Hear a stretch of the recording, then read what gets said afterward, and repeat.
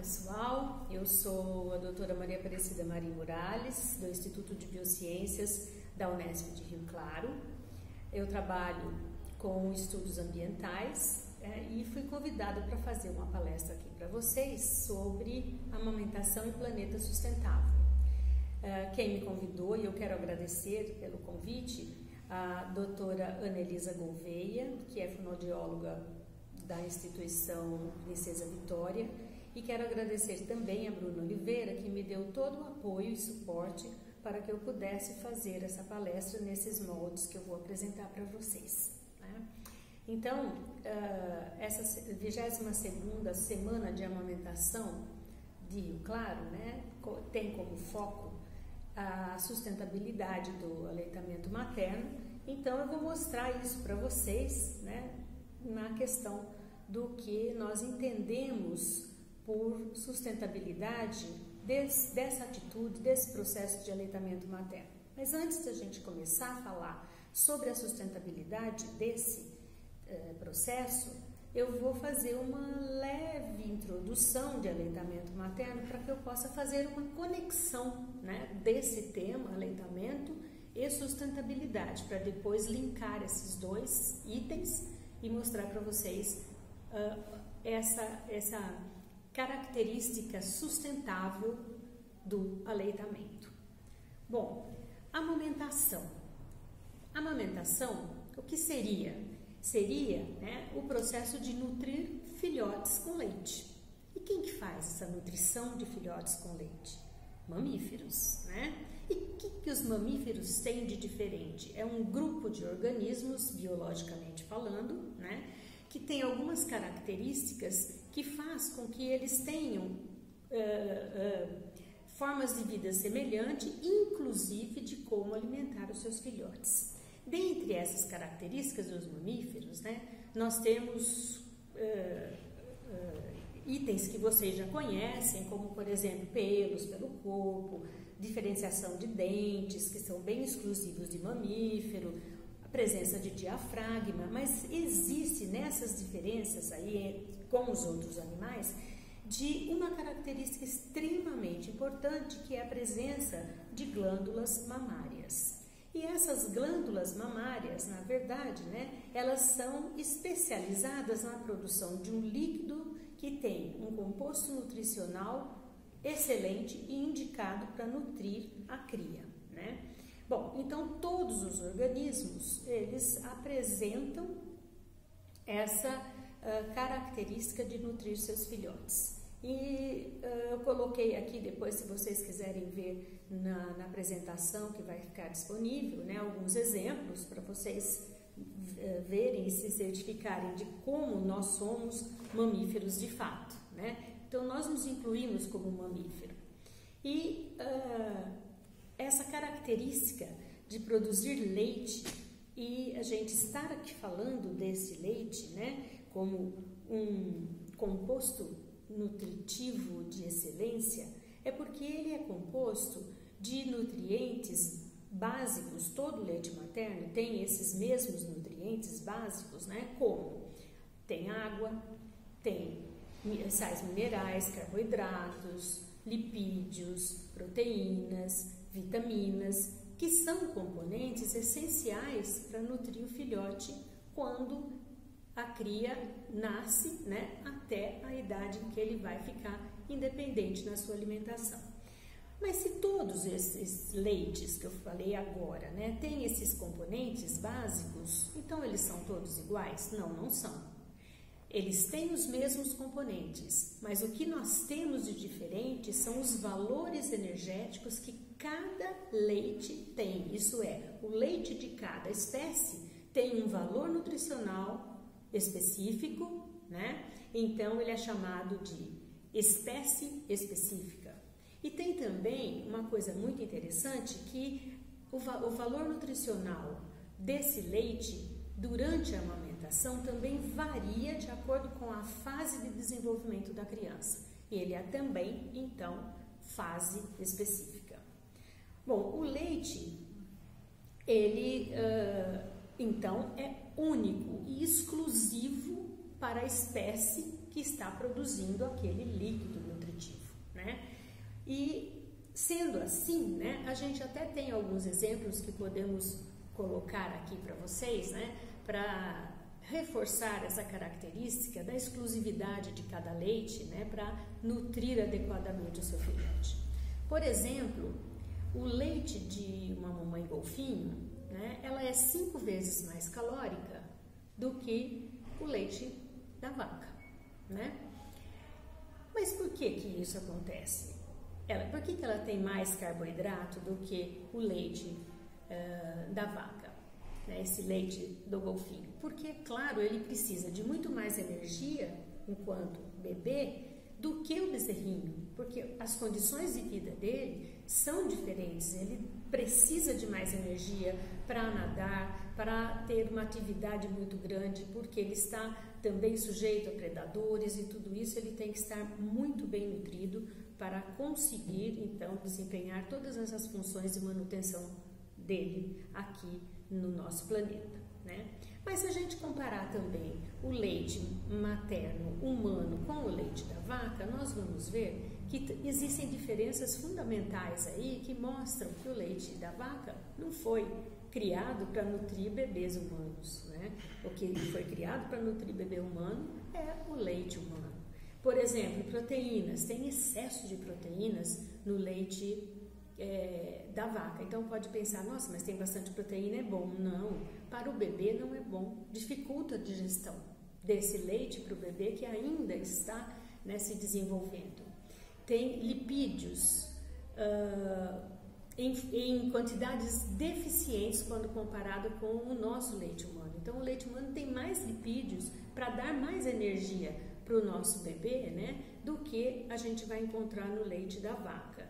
Vitaminas, ele é deficiente para a nossa espécie quanto a vitamina A e E, que são A e C, que são extremamente importantes, né? A para todas as características de desenvolvimento da visão, por exemplo, né? E de, de, de resistência a, a, infecções de pele. E a vitamina C, que é uma, uma vitamina que nos confere bastante imunidade também. Então, nós vamos ter aí nesse leite uma deficiência desses compostos.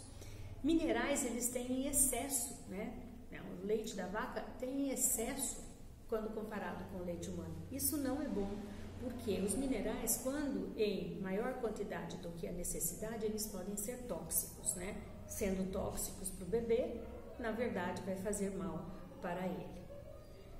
Ferro, tem muito menos ferro no leite da vaca do que no nosso. Nós sabemos o quanto o ferro é importante na alimentação. A água tem muito menos água do que o nosso leite. E nessa fase, nosso, os nossos bebês precisam mais de água do que o, o filhote da vaca, na mesma comparação de idade.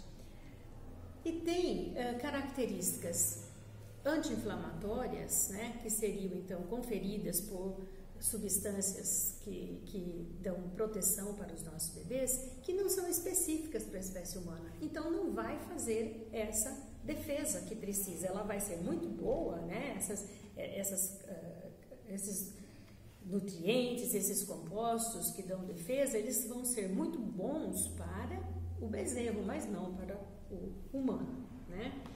E também os fatores de crescimento que, que tem que que estar presente nesse leite eh, vai ser diferente. Então, o leite da vaca vai ter fator de crescimento é, excelente para bezerros e não para humanos. Então, olha só como, mesmo tendo os mesmos compostos, essa variação é muito importante de uh, ser mantida e por isso tão importante de, de, cada espécie ter o seu leite para amamentar o seu filhote, tá? Mas além de todos esses componentes, né, nutricionais, nós temos também anticorpos, né? Como eu falei, aquela parte um pouquinho anterior que eu falei para vocês da característica de anticorpos específicos que cada espécie tem, né? Por quê?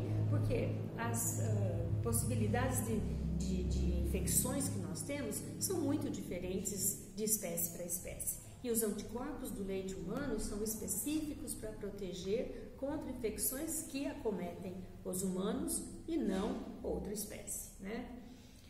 Bom, uh, então essa, essa presença desses anticorpos, ela, ela vai uh, garantir né, a defesa para os nossos filhotes, né, os nossos bebês, nas primeiras etapas da vida e do seu desenvolvimento. Bom, então deu para perceber como a exclusividade do leite é importante e como o aleitamento materno é uma, uma, uma atitude que devemos incentivar nos humanos, né? para que os bebês tenham tudo o que ele precisa para desenvolver e ter sucesso no seu desenvolvimento. Mas a gente vai falar de aleitamento e sustentabilidade. Né? Então, o que seria essa tal eh, sustentabilidade? Quando a gente fala em sustentabilidade, vem na nossa mente o quê? um ambiente lindo, né? onde nós temos uma diversidade fantástica de, de seres vivos, uma é, beleza visual, uma harmonia visual que nos remete a um equilíbrio ambiental. Né? Mas, para a gente ter isso, né, a gente tem que ter sim o que nós chamamos de sustentabilidade. Por quê? Porque o homem, de maneira geral, ele polui. O homem, de maneira geral, modifica materiais. E nessas modificações, né, nessas mudanças que ele faz para seu uso, ele sempre deixa resíduos. Né? Eh, só para exemplificar para vocês, né, nós podemos colocar o fator é, uso de utensílios, por exemplo, para cozinhar. Nós usamos panelas de alumínio, né? Então, a maioria de nós né, usa panelas de alumínio. Vocês já viram algum organismo usar panela de alumínio para fazer suas comidas que não seja o ser humano? Não. Mas para fazer essa panela, por exemplo, o que, que, tem que ser feito? Tem que extrair o alumínio de minerais e rochas né, que, que estão no ambiente, transformar esse material, porque eles, o alumínio não está uh, uh, da forma que a gente precisa. Ele precisa ser extraído. E quando a gente extrai isso, nós deixamos muito resíduos, porque o resto que fica não vai servir para nada, e sim vai poluir o ambiente. Então, isso aí mostra que a nossa atividade como ser vivo não é sustentável. E nós precisamos hoje de atitudes sustentáveis para agredir menos o ambiente que nós vivemos. E agredindo menos o ambiente que nós vivemos, nós vamos ter com certeza a melhor qualidade de vida para todos os organismos que estão na, no nosso planeta, que vivem então na Terra.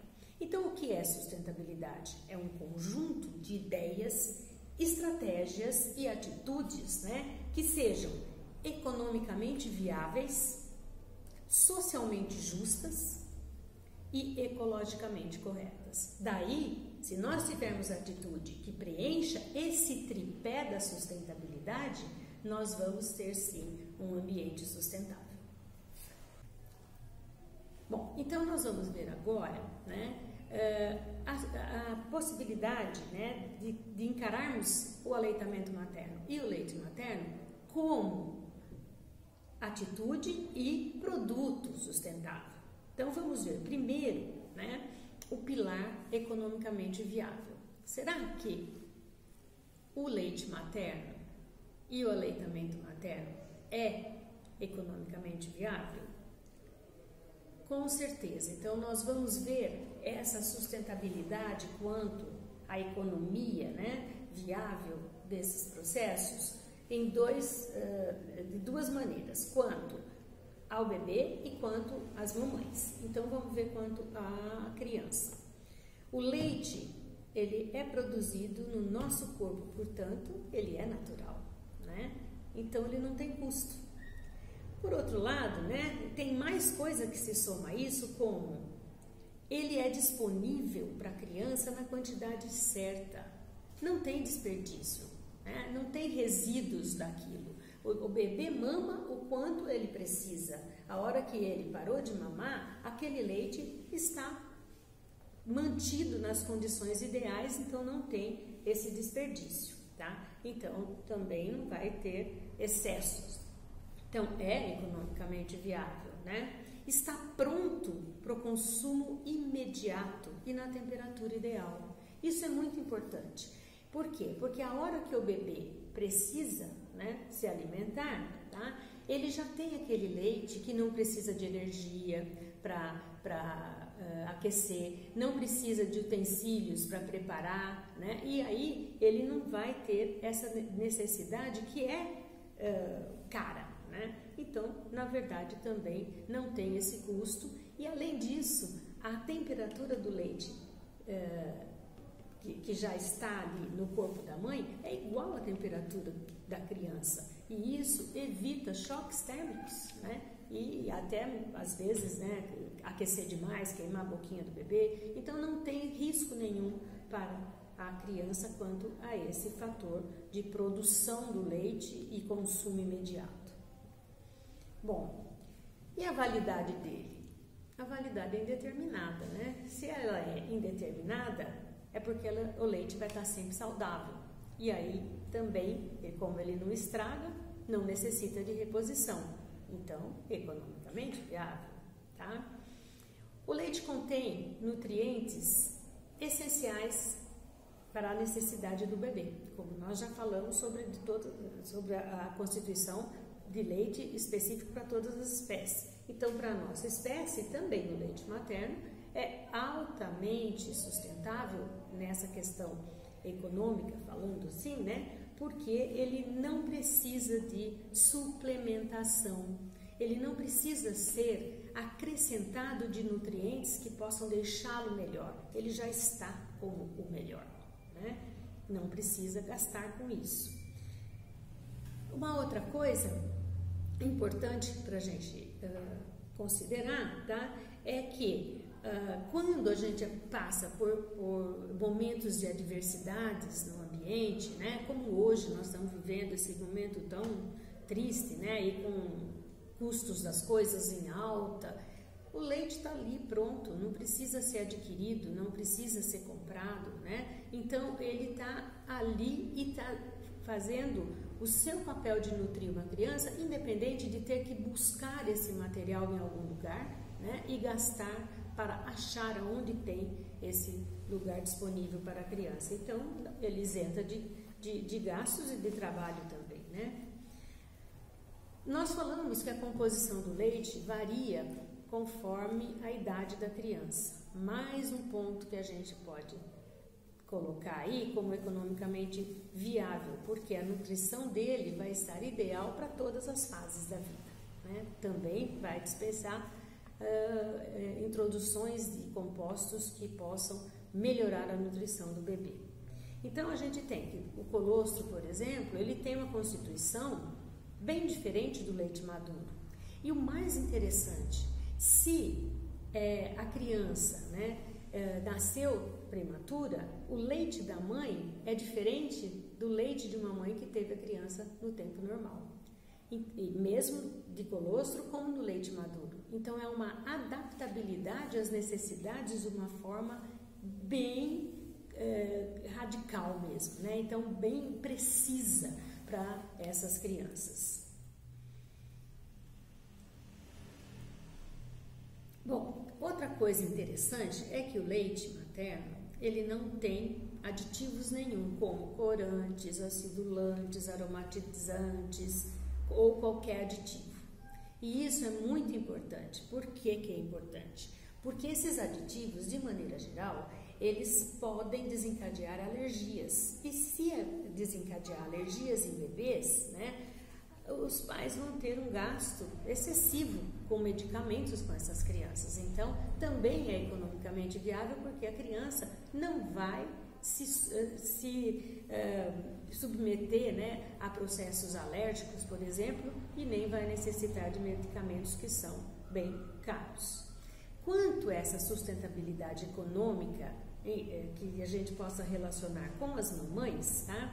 a gente sabe que esse vínculo né, físico entre o bebê e a mãe melhora muito as condições emocionais, né, tanto do bebê quanto da mãe. E isso melhora problemas mentais, né, que possam advir da maternidade, mas também vai melhorar as condições gerais de saúde, tanto da mãe quanto do bebê. Então, vai isentar gastos com saúde também. Uma outra coisa importante do leite materno, que também é, melhora as condições de vida da mãe, né, e menos gasto com, com uh, saúde, é porque ele reduz riscos, né? A produção de leite vai reduzir riscos de morbidades como câncer de mama, de útero, a osteoporose, problemas cardíacos infartos, hemorragias, anemias, diabetes do tipo 2, né? Tudo isso vai reduzir e com certeza menos gasto com a saúde. Bom, o leite materno ainda coloca a mãe em vantagem, né? Quanto uh, as que não amamentam, porque vai haver liberação de hormônios que vão fazer uma involução uterina, que vai rapidamente voltar ao normal do seu tamanho, evitando hemorragias e menos gasto também com medicamentos e, consequentemente, com a saúde, porque a gente sabe que hemorragias pode dar uma deficiência de ferro e precisa de suplemento aí para a mãe, né, que perdeu sangue de uma forma maior do que a que eh, eventualmente ela tenha. Bom, uh, uma coisa também interessante para a gente pensar, além, além de saúde, né, além dessa, dessa questão uh, físico-emocional, é quanto à possibilidade da mãe trabalhar. Né? Nos dias de hoje, a gente sabe muito bem né, que o casal trabalha.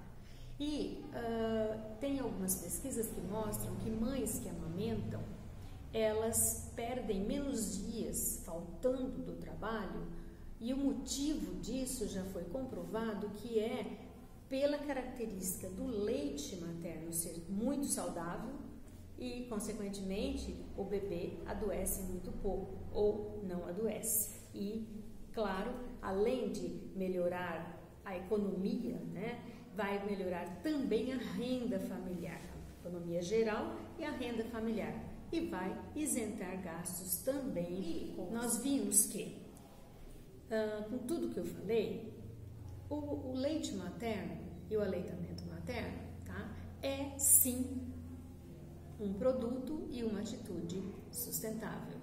Né?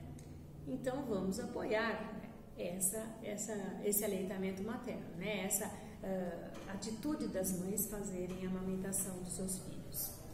Bom, Vamos então para o segundo pilar. Lembra que eu falei? O primeiro era economicamente viável, o segundo era socialmente justo. Vamos ver se o leite materno e o aleitamento materno têm características de sustentabilidade quanto ser, eh, ser uh, uh, socialmente justo. Então vamos lá. Lembra que nós falamos que é um produto natural de sustento? Pois é. Então qualquer criança tem a potencialidade de ser nutrida com esse leite. E com isso, todas as crianças podendo ser nutridas com esse leite ideal, nós temos o que nesse leite? Uma igualdade social, independente das condições socioeconômicas dessa criança. Protege a saúde infantil, né? Já que ele é tão saudável, protege a saúde infantil. Então, não são crianças que tenham um, um, um poder socioeconômico maior que vão ter melhor saúde. Todos vão ter igualmente saúdes excelentes, igualmente social. Né? Então, podemos dizer que é sustentável sobre esse ponto de igualdade social.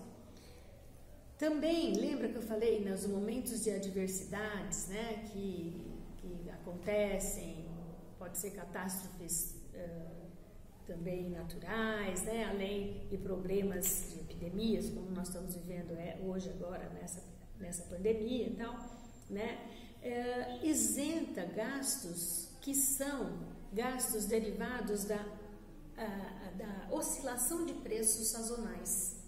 Então, não tem a questão de ser mais caro, então por não ter condição financeira para isso, vai deixar de, de consumir aquele alimento ideal. O alimento está ali, pronto, é a mãe que está oferecendo. Então é igualmente justo até mesmo nesses momentos de adversidade eh, sazonais, tá? Bom, então o leite materno ele promove é, uma melhor condição de começo de vida para os bebês, independente de qual é a classe dele. Então, é igualmente social também, né? Um, uma criança que, que é amamentada pelo menos até seis meses de idade, ela vai ser é, uma criança que não vai ter problema com fome e tampouco com desnutrição. Isso é uma sustentabilidade extremamente marcante né, nessa questão da igualdade social. Todos vão ter essas condições. Qualidade de vida excelente, independente de qual é a sua condição socioeconômica. Uh, tem umas vantagens também que são muito interessantes, como o aleitamento ele previne obesidade em 13% de prevalência. Isso é, as crianças que são amamentadas elas tendem a ser menos obesa, 13% menos obesa, né? Isso é uma condição excelente e todas as crianças têm essa mesma condição de apresentar essa característica saudável. Então, é socioeconomicamente falando muito viável. Também reduz a incidência de diabetes no bebê em 35%. Olha que interessante isso, né? Então, aqueles bebês amamentados, eles vão ter uma menor possibilidade de desenvolverem ao longo da sua vida, né? Diabetes do tipo 2. Uh, eles também terão uma condição intelectual que vai conferir um rendimento escolar superior na ordem de 33% daquelas crianças que não uh, são alimentadas com esse alimento natural, né, ou que são alimentadas com alimentos artificiais aí nesse primeiro estágio de Então é igualmente justo, né, porque vai ser muito bom, porque as crianças vão ter um desenvolvimento excelente, tanto do corpo como da mente. Né? E isso vai colocar essas crianças em destaque, em superioridade, mostrando que é socialmente justo.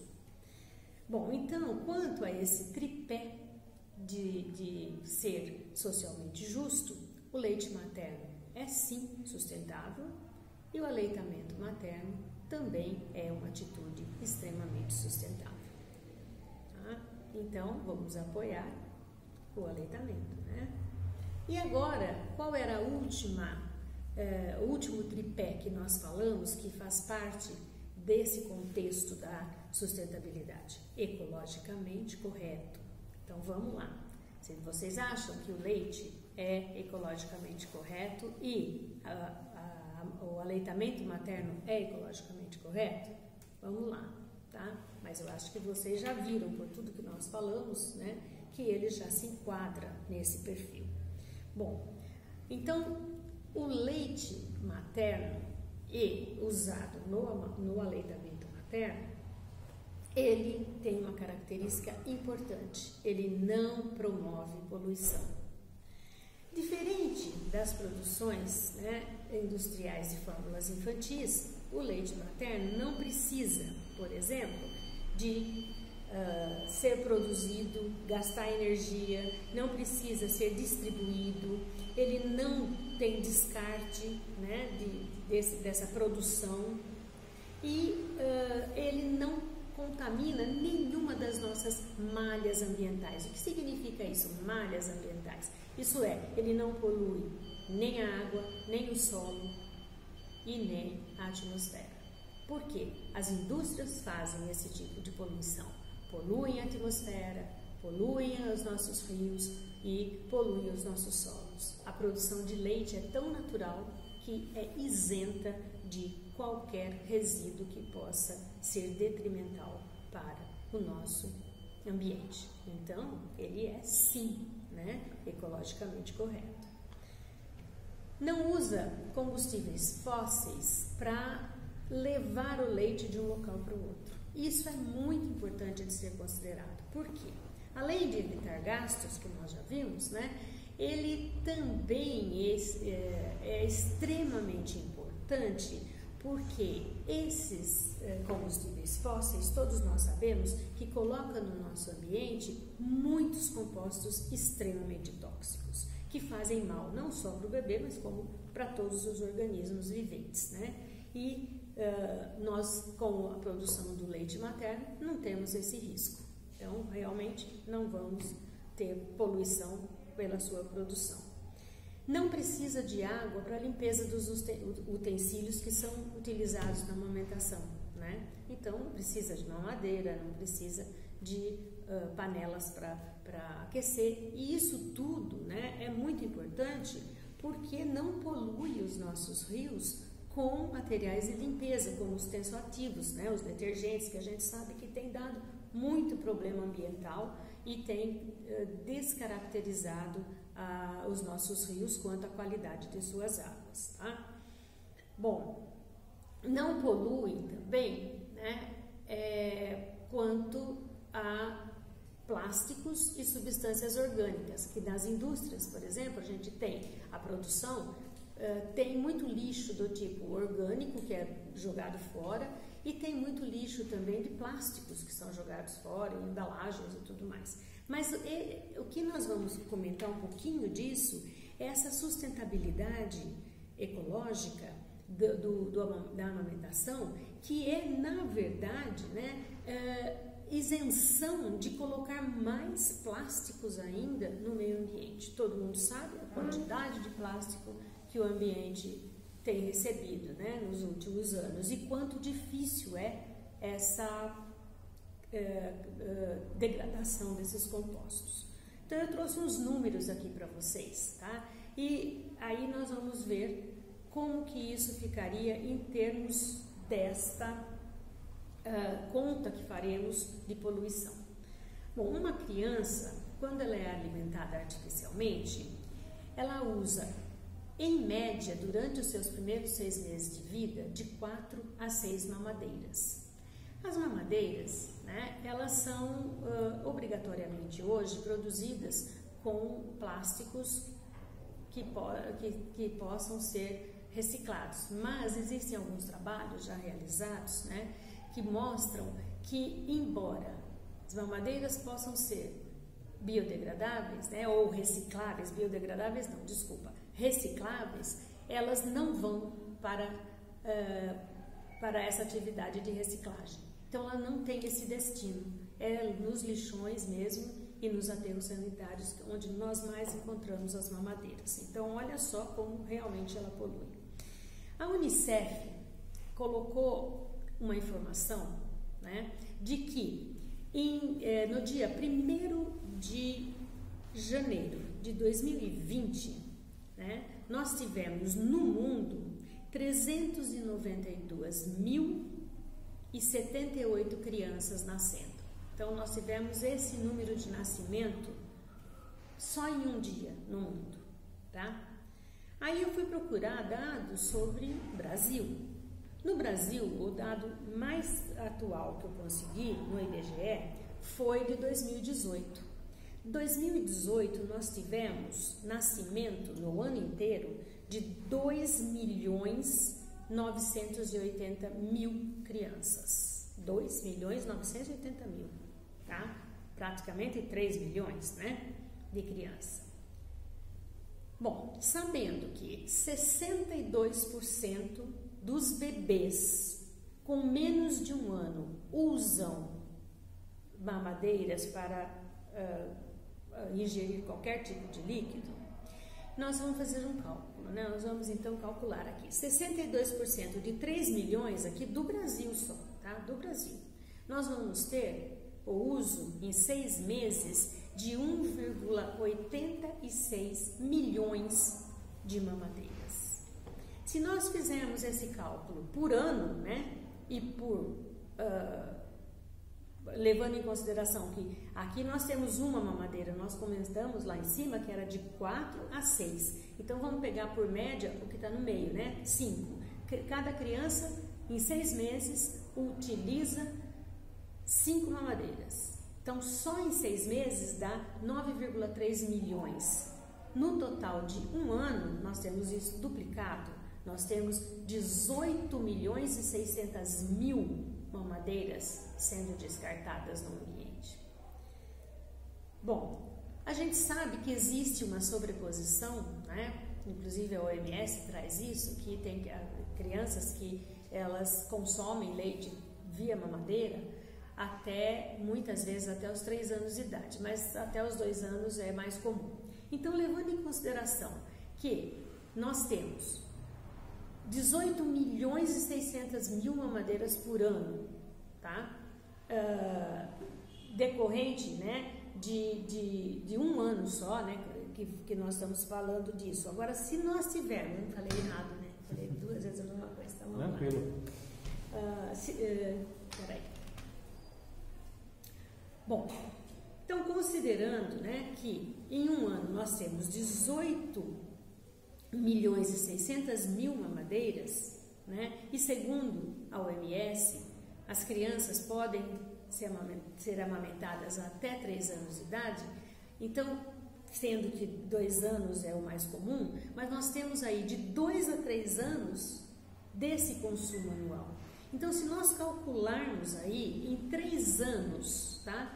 Quanto, né, que nós vamos ter de, de descarte de mamadeira? Nós vamos ter aí um número bem grande que chega de 40 a 50 milhões de mamadeiras jogadas em aterros ou lixões. Isso é um número extremamente alto de um composto que é extremamente uh, detrimental para o ambiente e com uma dificuldade de decomposição muito alta. Então, o que, que acontece? Nós vamos ter um material que pode demorar mais de 100 anos para degradar.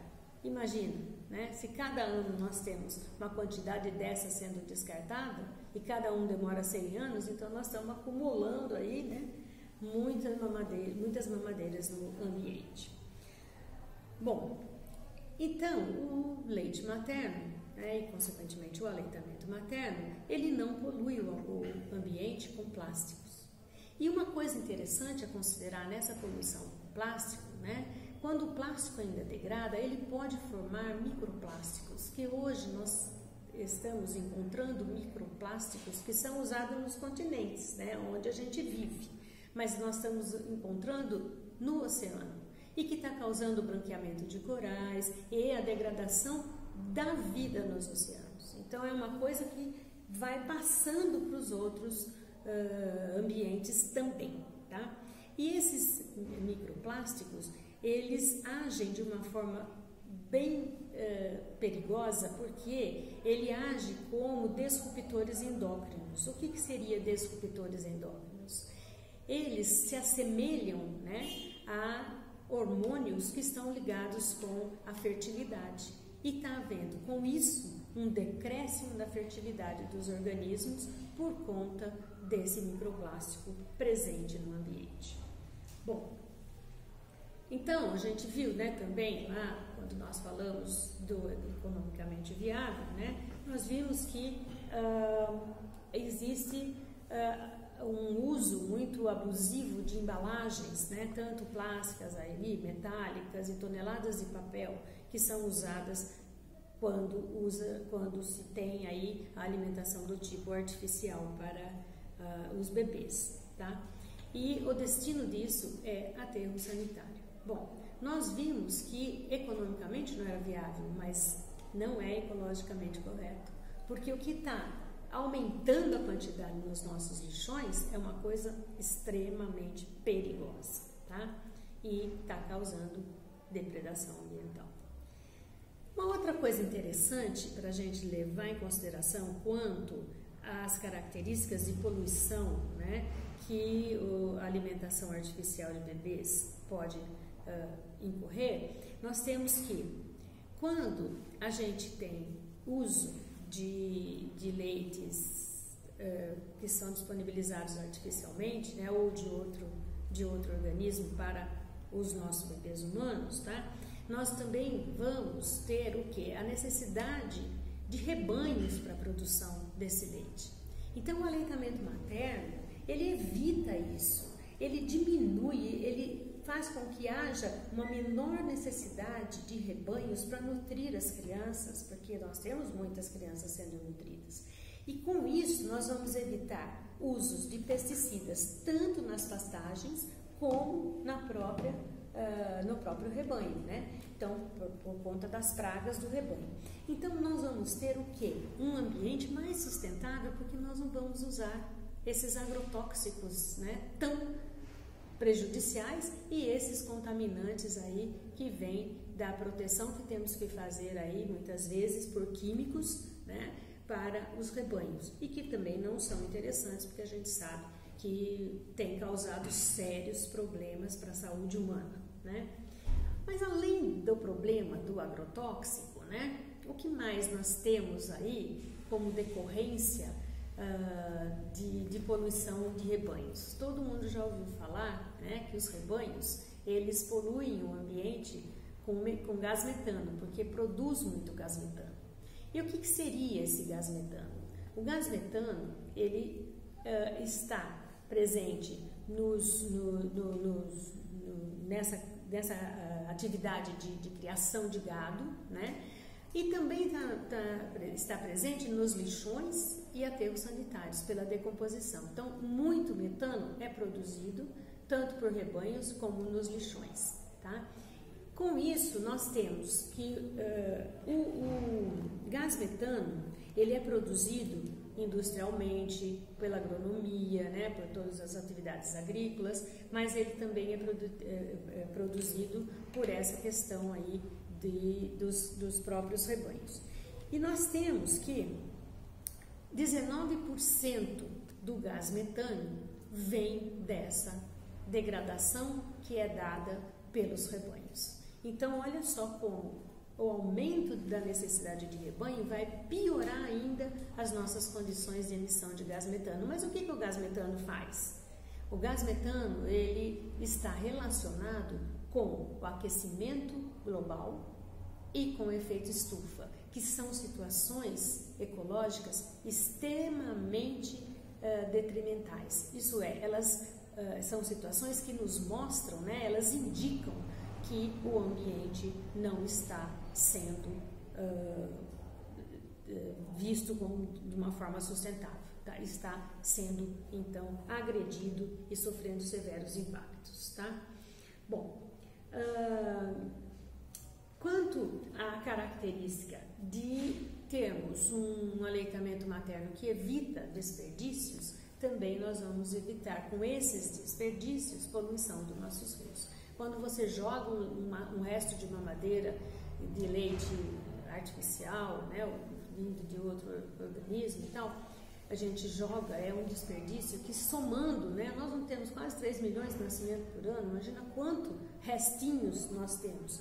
Isso vai, vai uh, promover processos muito uh, detrimentais, como por exemplo né, a eutrofização dos nossos rios. O que significa eutrofização dos nossos rios? Os nossos rios recebem tanto, tantos compostos orgânicos que vai dar um suporte para muitos micro-organismos se proliferarem nesses rios. E a hora que esses micro-organismos se proliferam nas águas dos rios, eles vão consumir todo o oxigênio que está ali. Né? E consumindo todo o oxigênio, aí nós estamos dizendo que eles estão, que esse ambiente está eutrofizado, né? Significa o quê? Que não vai ter oxigênio suficiente, tá? Para manter toda a biota aquática natural, né? Os peixes, por exemplo, vão morrer. A gente já viu muito disso em uh, decorrência de poluição dos nossos rios. Bom, então o aleitamento evita a poluição do solo e poluição de água. Né? nós também uh, temos que o leite materno não precisa ser aquecido né? e não precisa ser fabricado. Então, ele não precisa também de água para uh, preparo, porque ele já vem pronto, já vem com a quantidade de água que a própria mãe né, ingeriu. Então, aqui, olha só como uh, é extremamente sustentável essa atividade, essa atividade de amamentar os nossos bebês. Para produzir um quilo de leite em pó, são necessários 4 mil litros de água para produzir leite em pó. Vocês vão falar, mas nem vai água no leite em pó. Nós vamos ter que colocar ainda água nele, mas para produzir o processo industrial precisa de água. E essa água vai ser devolvida para o ambiente. Só que ela vai ser de devolvida não como ela foi pega, limpa, ela vai ser devolvida contaminada. E vai, sim, para um quilo, hein? 4 mil litros. Imagina quanto que uh, nós teremos, ou temos, né, na verdade, é, de poluição da água derivada desse processo de produção de leite artificial em pó, tá? Bom, então o aleitamento protege muito os nossos rios, né? Uh, muitas coisas que mostram, né, a eficiência do, do, do, do leite materno ser usado na amamentação, né, para melhorar as condições do nosso ambiente e então para ser sustentável. Bom, amamentar como nós vimos, reduz morbidades, mortalidades, desigualdades sociais, né? Inclusive, nessas desigualdades sociais está embutido também uma diminuição grande de violência que já foi uh, certificada por pesquisadores dessa área, que essa questão de você minimizar desigualdade social, você também melhora a questão da uh, diminuição da, da violência, tá? Então você vai ter uma melhora aí nas condições que a gente tem de violência, de, de minimizar essa violência no, no ambiente. E sem contar né, os danos ambientais que não vão ser então aí uh, implementados nesse ambiente. Então, com certeza promove melhor qualidade de vida e melhor qualidade, consequentemente, de saúde. E ah, com tudo isso, ele vai fazer com que haja sim uma relação direta, tá? De relações sociais mais amáveis, mais amistosas, tá? Promove uh, resgate cultural, promove uh, segurança alimentar, né?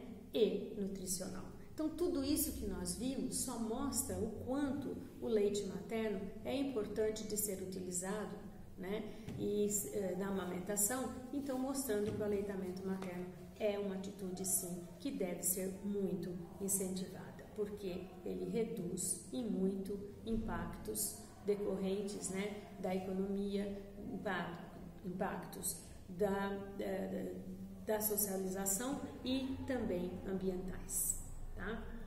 Bom, então o leite uh, materno é sim ecologicamente correto, né? É um produto ecologicamente correto.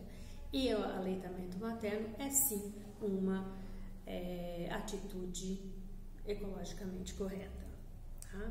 Temos que incentivar o aleitamento materno, né? Bom, então esse tripé da sustentabilidade, né, que eu procurei trazer aqui para vocês, é sim contemplado com o uso de leite materno, é sim contemplado com o aleitamento materno. Né? É uma coisa então que nós devemos sim é, incentivar esse uso, porque além das nossas crianças agradecerem pela saúde que vão ter, né, o nosso planeta também vai estar mais sustentável. Conclusão de tudo isso, tá? Uh, que nós já, já vimos, mas vamos deixar resumido para vocês aqui, é que o aleitamento materno é uma, uma atitude correta. Concordam? Tá? Então, tanto para a saúde do bebê, como para a saúde da mãe, como para a saúde ambiental. Né? A amamentação humana tá? é a mais natural e a mais indicada para os nossos bebês. Não tem outra alimentação que possa ser melhor, nem igual. Essa é a melhor, tá? Ah, a amamentação também, ela é, por ser natural, ela traz benefícios sociais e à saúde, né? Além de ser economicamente viável. E é também ecologicamente correta, mostrando que tudo isso né, uh, só comprova a sustentabilidade do aleitamento materno. Bom, pessoal, então, de maneira geral, né, o, o alimento sustentável do ser humano é sim o leite materno, tá? O aleitamento tem tudo a ver com sustentabilidade. Então, o que nós precisamos é incentivar as mamães né, a terem essa atitude de amamentar os seus filhos. Agradeço muito todos vocês por terem ouvido essa palestra até agora. Espero né, ter colaborado. Eu vou deixar no meu link aí né, da, da apresentação, eu vou deixar o meu e-mail e o meu telefone também, para que se vocês têm alguma pergunta, estou disponível para respondê-las. E também, se quiserem acrescentar alguma coisa que eventualmente eu não tenha dito ou que vocês queiram colocar que seria interessante salientar sobre o aleitamento materno, por favor, fiquem à vontade, porque aprender é sempre um benefício e eu também gosto de receber informações que me ensinem um pouco mais daquilo que é importante para a nossa vida. Muito obrigada e até a próxima.